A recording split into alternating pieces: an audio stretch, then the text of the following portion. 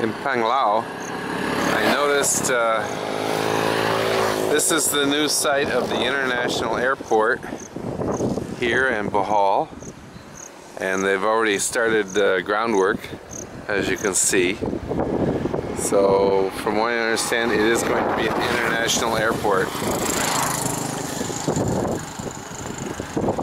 So uh, the other side they've got work going on over here too. Anyways just thought I'd give you that short little video and I'll have some pictures of this sign right here so you can see that